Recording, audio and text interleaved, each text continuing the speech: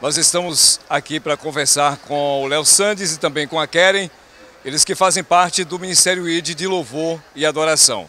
A princípio, o Léo, também que segue carreira solo, com um trabalho muito bem, a quem queremos parabenizar e desejar sucesso. Léo, terceira edição do Mais Jesus Intimidade. O que isso representa em sua vida? Boa noite.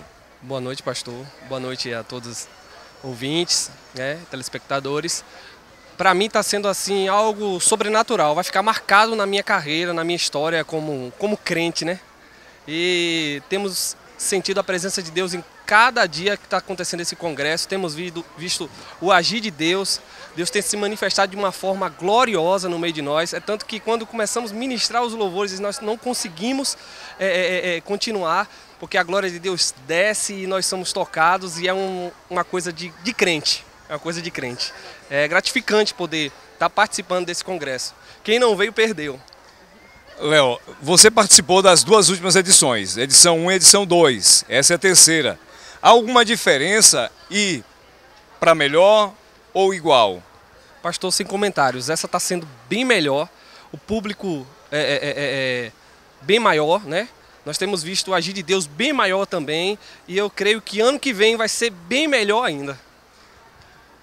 Passamos esses dias debaixo da dispensação da graça. Você que entende de música pode nos falar rapidamente o que representou também a passagem dos cantores e bandas por esse congresso. O que, qual mais marcou seu coração, Léo? Pastor, não tem como falar qual marcou. Todos foram usados por Deus. Cada dia foi de uma forma diferente. Cada qual é, Deus usou de uma forma diferente. Tinha, teve o público para isso, né? Então fica, fica até difícil falar qual foi o melhor. Eu creio que todos fizeram sua parte no reino e todos foram abençoados. Ok, vamos conversar com a Keren, componente do Ministério ID de Louvor e Adoração. O que é mais Jesus Intimidade na sua vida? É o mover sobrenatural de Deus e mais do que isso, é uma etapa nova na nossa vida. Toda, todo ano, cada ano, o Senhor nos surpreende mais, o Senhor traz coisas diferentes. Pessoalmente, eu fui marcada pelo ano passado e assim, eu tenho crescido, o Senhor tem falado de maneira diferente, o Senhor tem falado de maneira sobrenatural. Então, na vida de cada crente, é, pessoalmente falando, as pessoas elas são tocadas e são transformadas pelo poder de Deus. O que você viu Durante esse, essa terceira edição, que marcou você na vida de alguém como experiência? Você vê com os seus olhos?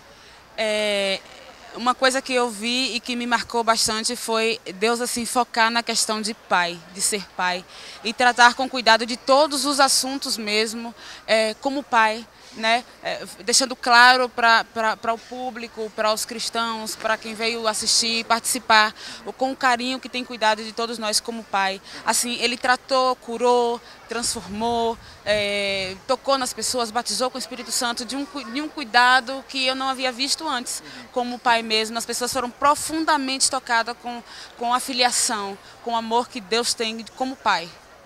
Muito bem, queremos agradecer tanto ao Léo Santos quanto a Keren. Deus abençoe. Amém, pastor. Obrigado. Keren, Deus te abençoe. Amém. Deus abençoe a todos.